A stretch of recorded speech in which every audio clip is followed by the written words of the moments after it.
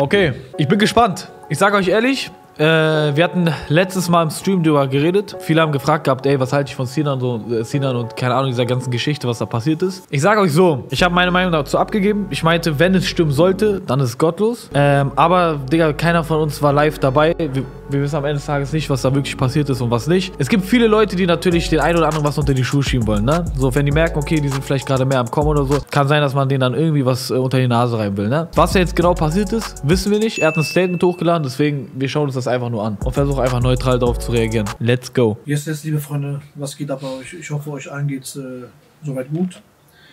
Äh, ich wollte mich natürlich jetzt mal zurückmelden mit einem Statement, aber natürlich auch äh, mich nochmal gleichzeitig auch bei euch entschuldigen, einfach äh, für das erste Statement, was ich auf Instagram äh, rausgeballert habe. Das erste Statement habe ich gesehen, das war dann so ein bisschen okay. Hätte er keins gemacht, hätte, hätte man ihm das auch nicht übel genommen. Weißt du, ich meine, das erste Statement, das war so auf trocken, einfach Emotionen, einfach hochgeladen und gesagt, ja, jetzt kennt jeder meinen Schwanz so oder mein Schwanz äh, haben mehr Leute, mehr Leute gesehen, als irgendwelche Leute äh, Streams haben und so. Deswegen, also, das Statement fand ich auch jetzt nicht so wow. Ähm, wie es dazu gekommen ist, äh, erkläre ich euch jetzt mal ganz kurz, damit ihr so ein bisschen Background, äh, ein bisschen einfach das ganze Ding ein bisschen besser verstehen könnt. Ich hatte einfach sehr viel um die Ohren. Ich war beim Sport, ich war am Pennen, ich stehe auf, ich gucke in mein Handy rein. Plötzlich äh, schießt mir so eine Welle entgegen, ja. Ich war mit der Situation einfach total überfordert. Ich wusste nicht, wohin mit meinem Kopf. Ich sage euch ehrlich, das äh, war sehr unangenehm für mich. Und dementsprechend habe ich aus dem Effekt daraus äh, einfach ein äh, Ding rausgeballert auf Instagram. Und äh, natürlich äh, weiß ich, dass das nicht zufriedenstellend war. Es, da kamen keine Infos. Es, äh, dieses, dieses, dieses Statement war einfach der ganzen Sache nicht gerecht. Sagen wir es mal so. Das ist das. Und dementsprechend mache ich jetzt hier das größere Statement. Es tut mir auch leid, dass es ein paar Tage gedauert hat. Aber ich musste mir auch ein paar Tage Zeit nehmen. Nicht wegen des Statement allgemein, sondern überhaupt, ich war mit der Situation komplett überfordert. Ich musste tagelang zu Hause das Ding ist, ich sag mal so, ne? Wir gehen jetzt mal davon aus, ich mache jetzt nur als Beispiel. Das Ganze stimmt jetzt nicht. Bruder, ich will gar nicht wissen, wie ekelhaft sich das anfühlt, wenn du zu Unrecht beschuldigt wirst. Vor allem auf Instagram und so. Digga, ich kann mir vorstellen, sein ganzer Account wurde, Digga, wurde bombardiert mit Nachrichten mit, Digga, du ekelhafter und keine Ahnung, was und dies und das. Guck mal, das Ding ist, viel handeln auch aus Emotionen. Ich hätte mir auch, ich habe mir auch in der Situation gedacht, okay, wenn das jetzt stimmt, Digga, das ist ekelhaft, weiß ich meine. Aber wir, wir haben eigentlich gar nicht so weit gedacht. So dieses Thema, so und so ist sowieso ein Abschaumthema. Also das Thema an sich ist sowieso dreckig, äh, dreckig und ekelhaft. Das kann man nicht befürworten oder so, oder befürworten oder so. Wir haben halt einfach, die meisten haben in der Situation nicht so weit gedacht. Die wussten nicht, okay, ist das wahr oder ist das nicht wahr? Weil das Video war ja selber auch geschnitten so, ne? Man weiß jetzt nicht, wurde da jetzt irgendwas zurechtgeschnitten äh, oder nicht. Weiß ich meine, da kann auch viel aus dem Kontext geschnitten werden. TikTok ist sowieso die Plattform, da wird sowieso der Inhalt gar nicht komplett reingeschnitten, sondern es wird nur das reingeschnitten, was die Person quasi in den Schatten stellen kann. Und äh, das kann auch sein, dass es genau so war in dem Video. Weiß ich mein? Mieser Rufmord wäre das, das, das. Also Rufmord wäre das auf jeden Fall, wenn das nicht stimmen würde. Aber wir schauen uns das weiter an. Nur jetzt einfach so als Gedankending, als Gedankengang. Also sagen wir mal, du bist unschuldig und du kriegst dann so eine Welle ab. Das ist schon, glaube ich, äh, nicht so ein nice Gefühl. Das ist so bad. Vorstellen sicherlich. Ich habe hab eine Mutter, ich habe einen Vater, ich habe Verwandte, ihr könnt euch vorstellen, was da also los war. Also Diskussionen, Telefonate. Äh, Digga, allein nehmen wir mal das Ding weg mit diesen Kinder und keine Ahnung was. Bruder, mir wäre es auch unangenehm, wenn irgendein Video auftaucht im Internet, wo man meinen Schwanz sieht. Weißt du, ich meine? Chef, du hast, du hast ja auch Mutter, du hast auch Familie, du hast auch Verwandte. Diese Kindersache packt die zur Seite, aber Allein dieser Punkt, Bruder, man muss bei solchen Sachen aufpassen. Wieso lässt er sich denn da aufnehmen? Weiß ich meine, wieso zeigt er sein Gesicht? Okay, ob Freundin oder nicht, Bro, ihr könnt euch alle immer noch privat treffen. Weiß ich meine, das ist gar keine Begründung so. Ich würde da, ich sag dir ehrlich, ich würde da ganz, ganz anders rangehen. Ich würde sowas gar nicht erst machen, so über FaceTime und diese ganzen äh, Geschichten, so, weiß ich meine. Das ist viel zu viel Angriffsfläche, die du den Menschen dann quasi bietest. So, ihr seid zwar zusammen, aber stell dir mal vor, irgendwann seid ihr nicht mehr zusammen. Dann hat man was gegen dich in der Hand. Rechtfertigungen, da, bla, bla. Also, es hat von allen Seiten gehagelt. Und ich musste das erstmal alles irgendwie bewerkstelligen. Ja. Deswegen seid mir da bitte nicht böse, wenn ihr es ein paar Tage gewartet habt. Ähm, ja, um auf das Thema direkt einzugehen, ihr wisst genau, worum es geht. Es geht um dieses besagte Video, dieses äh, zusammengeschnittene, komische Video, was über mich äh, rausgekommen ist. Um auf den Punkt zu kommen, Freunde, dieses Gespräch, ja, das habe ich mit meiner Ex-Freundin geführt. Okay? Meine Ex-Freundin, mit der ich zwei, drei Jahre zusammen war. Okay, die hat auch übrigens das Badewannenvideo rausgebracht. Bei der Situation damals habe ich sogar noch mir gedacht, egal, ich gehe nicht rechtlich vor, ist mein Karma. Ich habe viel Scheiße gebaut in meinem Leben. Ich war lange im Gefängnis. Ich habe vielen Menschen Unrecht getan. Habe ich hingenommen. Okay. Meine Mutter hat es gesehen. Alle waren enttäuscht. Alle waren traurig. Man sieht mich mit. Ihr wisst selber ja, ne. Dieser Anblick ist für Verwandte und für Menschen, die einen lieben, auch nicht schön. Okay? Aber ich habe es hingenommen. Ich habe mir gedacht, egal, vielleicht habe ich es nicht anders verdient. Ich habe das Mädchen vielleicht scheiße behandelt. So, ich habe nicht immer jeden Menschen sehr gut behandelt. Und da habe ich mir gedacht, egal, ist mein Karma. Weil, ich sage euch ehrlich, Freunde, so, ich bin auch ehrlich zu euch. Also ich brauche euch nicht anlügen. So, in meiner Vergangenheit äh, lief nicht alles immer perfekt. Ja. Ich war lange im Gefängnis. Die, die Liebe, die, äh, die Liebe bei, in meinem Leben war immer, immer, immer so, so lala. Ne? Während andere vielleicht eine schöne Beziehung hatten, ins Kino gegangen sind. Immer, da war ich hinter äh, kalten Gitterstäben und äh, bin am Ausrasten gewesen. Und irgendwann, als ich rauskam, habe ich natürlich äh, alles versucht nachzuholen. Ja, ich habe meine, meine Bestätigung versucht bei Weibern zu holen, mein Ego zu pushen und hast nicht gesehen. Ja, und, und ich habe mir gedacht, egal, ich habe verdient, kein Problem. So, jetzt zwei Jahre später, zweieinhalb Jahre später, keine Ahnung, kommt jetzt auf einmal so ein Video, zusammengeschnitten, völlig aus dem äh, Kontext gerissen, ja, weil gewisse Sachen, die dort gesagt werden, die sage ich. Ja, das bin ich. Ja. Also es wurde auf jeden Fall gesagt, aber jetzt die Frage, ob das auch so gemeint ist oder halt, wie gesagt, nur zusammengeschnitten ist. Ne? Also man muss auch echt sagen, wenn das die Ex-Freundin war, dann äh, hat sie sich auf jeden Fall damit auseinandergesetzt, wie man Video schneidet. Ist das dieses eine Gespräch? Denke ich, ich, ich, ich gucke mir das nicht. Ich denke, was ist das? Das, das, das, das, das. Passt, das eine passt mit dem anderen nicht. Das eine passt mit meinen Lippen gar nicht, ist gar nicht synchron. Es, es, es ist zusammengeschnitten entweder aus Voicemails oder aus anderen Telefonaten. Ich habe sehr oft mit meiner Ex-Freundin Dirty Talk gemacht. Ja? Sehr oft dreckige Sachen. Und ich bin auch so ein, ja, nee, ich bin kein Kind von Traurigkeit. Ich bin so bei sexuellen Sachen ein bisschen wild drauf. Ja, ich sage auch Sachen, vielleicht auch Sachen, die jetzt vielleicht nicht so korrekt sind. Aber nur dreckig halt. Ihr wisst, was ich meine. Ich will jetzt nicht genau ins Detail gehen, aber ich sag nur mal Sachen, die manchmal nicht vielleicht ne, wo man nicht, wo man denkt, okay, hast du, hast du einen abgeschossen. Okay. Da hat er die Katze aus dem, aus dem Sack geholt. Meine Freundin. Das ist ein privates Gespräch zwischen mir und meiner Freundin. Das hat nichts in der Öffentlichkeit zu suchen. Okay, das wollte ich niemals, dass ihr das in so einem Umfang und so einem Ausmaß überhaupt mitkriegt. Ja, weil das ist ein privates Ding. Und meine Freundin übrigens hat auch kein Kind. Ja, also sie hat keine Kinder. Und äh, umso unangenehmer macht das ganze Thema hier. Ist es, also das ganze Thema ist für mich sehr unangenehm. Dass ich mit euch über mein Privatleben, über meine Ex-Freundin sprechen muss. Über die Situation sprechen muss, in der ich mich befinde. Was mich wirklich auch sehr krass runterzieht, weil es ist, ich bin auch nur ein Mensch. Ich bin nicht irgendwie aus, aus Metall oder so. Ich bin ein Mensch aus Fleisch und Blut. Und weiß Gott, ich habe auch viele Fehler gemacht. Ja? Aber das, was man mir versucht zu unterstellen, das weiß ich ganz, ganz weit von mir weg. Das könnt ihr mit mir nicht in Verbindung bringen, denn das bin nicht ich. Ja? Sachen, die ich gesagt habe, die aus dem Kontext gerissen worden sind. Sachen, die zusammengeschnitten worden sind aus anderen Telefonaten oder aus anderen Voicemails. Alter, man sieht doch ganz klar, dass das zusammengeschnitten ist. Ja? Ich kann euch nicht zu 100% sagen, was. Aber jemand schreibt rein, der Video ist langweilig. Ja, Mann, Bruder. Der Video ist echt langweilig. Welchem Gespräch sowas nicht, weil ich habe tausendmal mit meiner Freundin telefoniert. Ja, ich habe tausendmal mit ihr Dirty Talks gehabt. Sachen wie zum Beispiel, hol mal die Kleine. Ja, also Kleine ist für mich, ich, Alter, hol mal, die, hol mal deine Freundin rüber.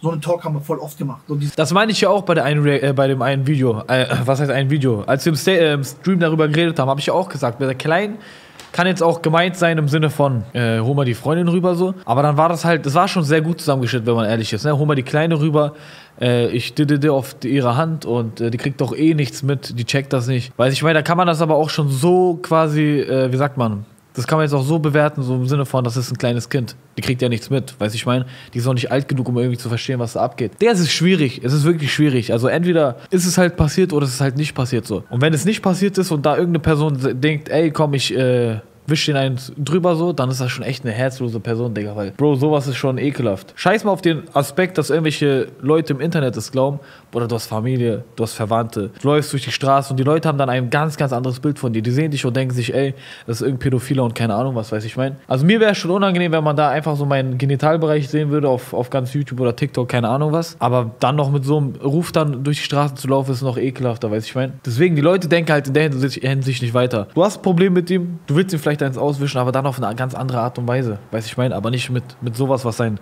Ruf und sein ganzes Leben zerstören könnte. Das bezieht sich halt darauf, wenn ich sagen würde, ey, oder wenn es halt wirklich nicht stimmen würde, ne? Das Rollenspiel, dieses, dieses Dreckige einfach. Was für Nummer. Ey, jetzt eine Frage, Chat. Pfeift meine Nase? Jemand schreibt rein, deine Nase ist nur am Pfeifen. Pfeifson. Okay, doch, ein bisschen. Oder wenn ich jetzt zum Beispiel gesagt habe, was war da? Äh, die checkt doch eh nix. Hör mal. Denkt mal ein bisschen nach. Ja, nee. Ich habe ihr vielleicht in einem anderen Gespräch gesagt, lass mal irgendwas machen. Die sagt, ja, geht nicht. Äh, meine Mutter sitzt neben mir und sagt, ja, geh doch mal andere Zimmer. Die checkt doch dann eh nichts. Beispiel. Ja, ich will euch damit nur sagen, dass man gewisse Sachen einfach sich so schneiden kann, wie man will. Gerade wenn man eine lange Beziehung hat. Gerade wenn man lange Kontakt hat, hat man Voicemails, hat man Telefonate und ich weiß ja gar nicht, was, wann hat die was von mir aufgenommen. Ich Deswegen sage ich auch immer, soll man in solchen Situationen aufpassen. Guck mal, du bist mit deiner Freundin zusammen, du hast eine Freundin, ihr habt eine Beziehung, da gehören gewisse Sachen dazu, so, aber Bro, sowas wie Dirty Talk und äh, keine Ahnung was und äh, FaceTime und sich dabei ein, keine Ahnung was, Bro, ich sag dir ehrlich, Digga, wofür? Weiß ich meine, wofür denn? So, ich will jetzt nicht zu krass darauf eingehen, so, aber man sieht sich doch auch mal in echt oder nicht. Und das ist dann einfach nur Angriffsfläche. Und wenn du dann weißt, du bist Person des öffentlichen Lebens, du hast einen Ruf quasi im Internet, dann will ich das gar nicht erst riskieren. Weiß ich meine? Versteht ihr ungefähr, was ich damit meine? Wenn es zusammengeschnitten ist, dann ist es sehr zusammengeschnitten. Ja, sehr gut zusammengeschnitten, das meine ich. Und du weißt halt auch nicht, wie die Leute drauf sind. So. Es gibt da einfach die perfekten Beispiele. Guck mal, die, die, die waren wohl in der Beziehung, sind nicht mehr in der Beziehung. Guck mal bitte, was die Ex-Freundin jetzt macht, weißt du? Deswegen, bei sowas darfst du halt einfach nicht zu schnell vertrauen. Diesen Menschen vertraut, warum nimmt die mich auf? Ich könnte doch genauso jetzt Sachen von ihr liegen. Ich habe auch Videos im Bett mit meiner Perle gehabt und hast nicht gesehen. Aber lieg ich sowas? Was habe ich denn davon? So. Sowas würde ich niemals machen. Und ich habe zum Beispiel jetzt so, wenn ich ein Foto von mir mit meiner Freundin im Bett gemacht habe oder ein Video, das habe ich ja nicht gemacht aus dem Aspekt, ah, irgendwann werde ich das liegen oder die ihr Leben zur Hölle machen. Aber da habe ich auch nie verstanden, Bruder, warum denn? Da mach es, also, warum machst du dann das Video? Aber anscheinend hat sie das so gemacht. Ja, mich beim. Ich hätte einfach schon dieser Aspekt, dass vielleicht jemand anderes an deinem Handy ist, vielleicht durch deine Galerie geht und dann auf einmal das Video sieht, das würde mir einfach schon zu sehr Angst machen, weil ich meine, da bin ich zu paranoid, Digga. FaceTime aufzunehmen oder Sachen zusammenzuschneiden, um mir zu schaden. Ja. All die Sachen, die ich in dem Gespräch gesagt habe, egal was ich gesagt habe, die haben nichts, rein gar nichts mit den Anschuldigungen zu tun, die im Raum stehen. Okay? Ich weise das ab von mir. Und ich möchte mit sowas auch nichts zu tun haben. Ich distanziere mich ganz klar. Ich distanziere mich, obwohl ich gar nichts gemacht habe. Aber ich distanziere mich trotzdem. Für euch, damit ihr das auch wisst. Bis zu einer Grenze denkt man sich, Ralas, mein Karma ist okay. Aber wie oft soll das, wie lange soll das weitergehen? Karma, Karma, Karma. Das ist jetzt so weit gegangen, Entschuldigung, Freunde, das ist jetzt so weit gegangen, dass selbst ich auch irgendwann jetzt rechtliche Schritte eingehen muss.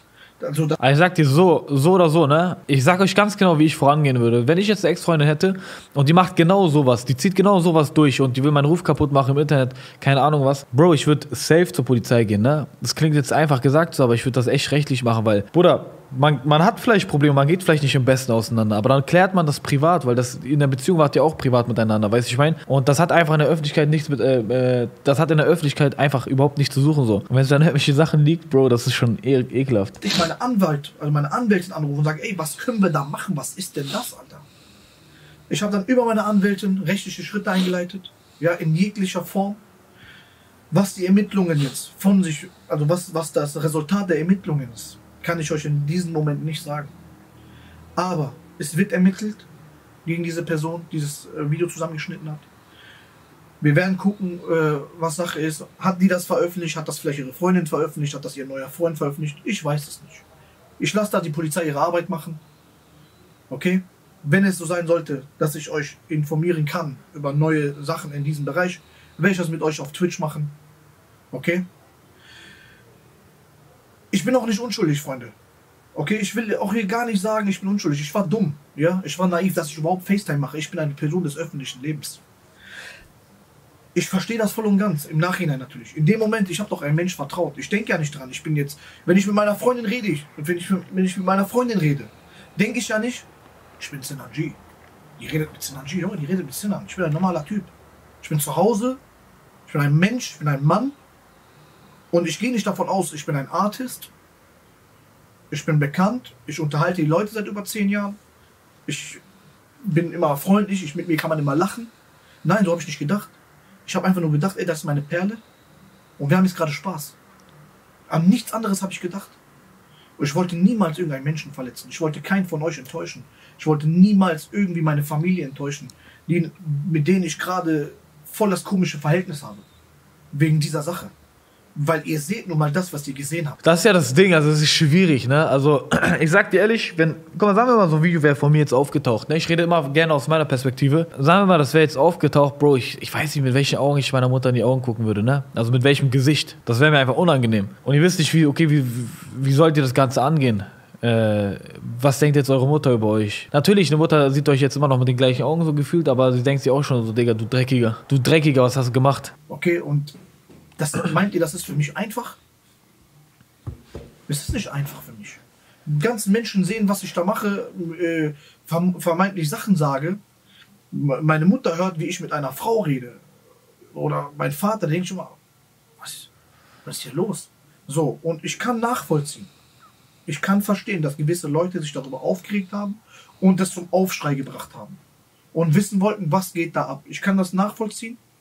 Bis zu einem Punkt ist es auch okay. Man muss dem nachgehen. So wie das geschnitten ist. Ich meine, man weiß, es ist geschnitten. Es ist irgendwas ist fake dran. Man sieht es. Man hört es. Dennoch werden komische Sachen gesagt. Und deswegen kann ich das auch nachvollziehen, dass gewisse Menschen sich dafür einsetzen. Aber was ich nicht nachvollziehen kann, ist, wie wenn ich zum Beispiel sage, hol mal die Kleine, aber andere Influencer oder Instagrammer, wenn die darüber reden und sagen, ja, der hat doch gesagt, hol mal die Tochter. Das ist einfach ja. Das ist ich weiß, das ist ein Sinn, äh, weil ich verstehe, was er meint damit. Im Sinne von, die haben dann quasi das Ganze ganz komplett falsch ausgedrückt. Weißt du, ich meine? Man kann ja sagen, okay, vermuten so und so, aber die haben das halt dann quasi komplett umgedreht. Gerüchte verbreiten, mein Wortlaut verdrehen, das habe ich nie gesagt. Ja? Und meine, meine Ex-Freundin hat auch kein Kind. Und ich habe auch nie gesagt, hol mal deine Tochter oder irgendeine Scheiße. Okay? Und ihr müsst mich auch ein bisschen verstehen. Ich bin angepisst bin angepisst, traurig, ich bin frustriert, ich bin alles, alles in einem. Ja, ne, meine komplette Welt. Alter, ich war am Gas geben. Ich mache Highlight-Kanal für euch. Ich gehe streamen für euch. Ich investiere Zeit. Ich mache und tue, damit wir alle Spaß haben. Und von heute auf morgen plötzlich scheißt man da rein. Zwei, drei Jahre später. Innerhalb von einer Woche, innerhalb von den ganzen Tagen, wo wir die ganzen Sachen machen, Streaming, wo alles gut läuft, geht alles, als ob irgendeiner als ob einer, einer so eine, wie soll ich, wie soll ich das äh, vergleichen? Als ob einer so eine Sanduhr gedreht hat oder die Steine fallen auf, in die andere Richtung plötzlich. Ich, ich war völlig hin und weg. So, und jetzt trete ich mit dieser Visage, Alter, meiner Mutter gegenüber, wenn ich nach Hause komme. Wisst ihr, was für, ich weiß nicht, wie ich das erklären soll, was für ein Gefühl das ist. So, und es ist für mich nicht einfach. Und normal kann ich nicht jeden zufriedenstellen. Ja, ich mache jetzt morgen ein Statement. Ja, ich sag, ich tue jetzt das. Ja, morgen. Weißt du, was das traurig ist äh, bei sowas? Das habe ich auch damals zu der Thematik gesagt mit Samra, ne? Als er quasi auch äh, Nika Irani und Samra und diese ganze Thematik habt ihr auch alle mitbekommen. Da habe ich auch immer gesagt, so ey, deswegen bin ich bei sowas mal ganz empfindlich, ne? Irgendjemand setzt das in die Welt, zum Beispiel auf TikTok mit, ey, der ist pädophil oder äh, der hat die sexuell belästigt, keine Ahnung was die Leute kriegen das mit, machen sich ihre Meinung und haben dann eine Meinung quasi so. Aber die kriegen dann meistens, oder nicht jeder kriegt dann quasi das Statement von der Person mit. Sagen wir mal, jemand sieht Sinan jetzt als pädophil. Als Beispiel, so wie wir das jetzt alles mitbekommen haben, so, ne? Die haben das Video gesehen, denken sich, okay, Sinan ist pädophil. Die gehen jetzt davon aus. Stell dir mal vor, der schaut jetzt aber das Statement nicht. Der denkt dann bis heute immer noch, auch wenn die Sache geklärt ist, der ist pädophil. Weiß ich meine, das heißt, auch wenn du ein Statement machst und das Ganze versuchst von der Erde zu schaffen, vom Tisch zu fegen, gibt es immer noch irgendwo Leute, die immer noch das falsche Bild haben. Und wenn die dann irgendwann mal auf der Straße rumlaufen, die, die, das wird sich immer wieder rumsprechen, weiß ich meine. Deswegen finde ich solche Sachen immer ganz, ganz gefährlich und man muss bei sowas mal viel, viel weiter denken. Wenn es um Ruf geht oder sowas, das ist ekelhaft. Und wenn dann Menschen bereit sind, einen Ruf zu zerstören, dann äh, haben die einfach kein Gewissen. Sehen die einfach diese Konsequenzen nicht. Oder die, die sehen die Konsequenzen und wollen dass es so weit kommt, weißt du? Ich bin auch nur ein Mensch, ich musste mich ein paar Tage zurückziehen und erstmal klarkommen was ist hier überhaupt Sache? Was, was ist jetzt schon wieder los? So, Und ich sage euch nochmal, bitte, auch wenn ich es mich wiederhole, alles, was ich dort im Gespräch sage, dieses komische, zusammengeschnittene Gespräch. Ella schreibt, wir werden halt wirklich niemals die Wahrheit erfahren. Wir können uns 100 Statements dazu angucken. Jeder hat sein Argument für sich, aber wir können nur mutmaßen in den meisten Fällen. Das ist das Ding. Das ist auch immer das Komische an ganzen Statements. So, wir wissen nicht, ist das jetzt die Wahrheit oder äh, hat man sich da jetzt für, für, vorbereitet und liefert einfach das Statement ab und wir glauben es, weißt du, ich meine? Das ist das Ding, also wir können jetzt nicht zu 100% nachvollziehen, was ist zu 100% die Wahrheit. Das werden wir niemals herausfinden, Chat. Wir können uns zu seiner Sicht anhören und vielleicht machen die einen Sachen Sinn, vielleicht machen die anderen Sachen nicht Sinn, weißt du, ich meine? Deswegen, das ist immer sehr, sehr schade. Wir haben leider nicht irgendwie so einen Bericht, wo steht, okay, das ist die hundertprozentige Wahrheit, schwarz auf weiß. Das wäre geil. Egal, was ich da gesagt habe, egal wo, wann ich was gesagt habe, das hat nichts mit den Anschuldigungen zu tun, die im Raum stehen. Das hat gar nichts damit zu tun. Ja, wenn ich, äh, ich habe genug perverse Sachen zu meiner äh, Perle gesagt. Ich habe genug Sachen ihr am Kopf geworfen in der Beziehung. Also weiß der Geier, was ich alles in meinem Leben schon äh, gesagt habe, was auch vielleicht nicht korrekt war. So, aber letztendlich will ich euch sagen, es hat nichts mit diesen Anschuldigungen zu tun. Ich verstehe die gewissen Leute, die natürlich Fragen stellen. Ich verstehe das. Es ist auch gut so, dass man diesem Thema nachgeht. Deswegen mache ich auch dieses Statement, um Klarheit zu verschaffen damit Leute wissen, okay, so ist es. Und ich bedanke mich jetzt schon mal bei jedem, der dieses Video bis Ende schaut, jeden, der mir eine Chance gibt, mich anzuhören. Ja, was ich aber nicht verstehe und nicht gut heiße, sind die Menschen, die meine Worte doppelt und dreifach verdrehen, ja, die einfach äh, das Thema nutzen, um sich selber zu pushen. Ja, nee, wie krank ist das, so ein Thema, was sehr sensibel ist und was auch wichtig ist, auszunutzen für die eigene Agenda, für, für den eigenen Push für, ich weiß der Geier was. Aber ich möchte das jetzt nicht vertiefen, weil darüber, über solche Sachen können wir im Twitch äh, sprechen. Über Leute, die Telegram-Gruppen erstellen. Die äh, Leute, die äh, diese, die, die gestern noch mit dir am Tisch gegessen haben, die am nächsten Tag plötzlich auf dich schießen, ohne dich anzurufen. Ohne dich zu fragen, ey Bro, da ist. Ich glaube, da meinte Manuels mit, ne? Irgendwas komisch an diesem Telefonat. Irgendwas stimmt da nicht. Kannst du mich kurz aufklären? Nein. Ich war sofort schuldig. Sofort in Story wurde gegen mich geschossen, ohne mich anzurufen. Mir wurde entfolgt, ohne mich zu fragen. Ohne überhaupt. Es, es wurde einfach nur ein Stempel gesetzt. Und das finde ich sehr traurig. Über diese Einzelheiten können wir natürlich in Twitch reden. Ich werde eure Fragen beantworten. Ihr könnt unter diesem Video Fragen stellen, dies, das, eure Meinung dazu geben. Alles kein Problem, habe ich kein Problem mit. Äh, aber man darf, Entschuldigung, an der Stelle darf man aber auch nicht vergessen. Es gab natürlich auch einige Leute, die das neutral betrachtet haben. Die auch wirklich innegegangen sind und gesagt haben, okay, irgendwas stimmt da nicht. So, so, so, so. Deswegen danke auch nochmal an Bruce, dass du mir den Rücken gestärkt hast. Es gab noch ein, zwei andere, die das auch gemacht haben. Sorry, wenn ich jetzt die Namen nicht äh, Dingens habe. Ich bin aber jetzt gerade auch ein bisschen aufgewühlt. Ne? Ich rede mir gerade natürlich äh, den Scheiß von der Seele. Ja, weil ich doch die letzten vier, fünf Tage das so in mich getragen habe. Äh, seid mir da nicht böse, da können wir nochmal im, im Twitch-Stream nochmal äh, drauf eingehen.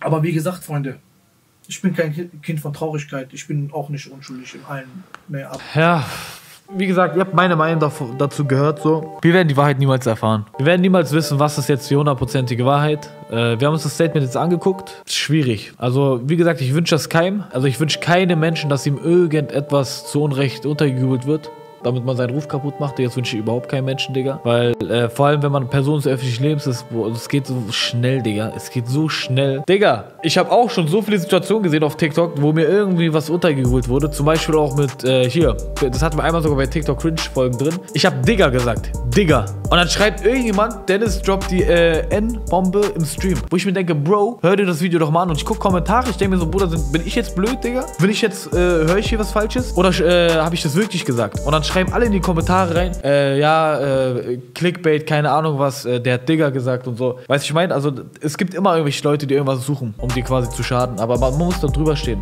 Man darf sich da nicht runterziehen lassen. Und deswegen, weiß jetzt nicht, was ich weiter dazu sagen soll. Meine Meinung habt ihr. Und äh, ja, auf den. Mehr gibt es nicht. Wie geht's euch? Alles tamam, perfekt.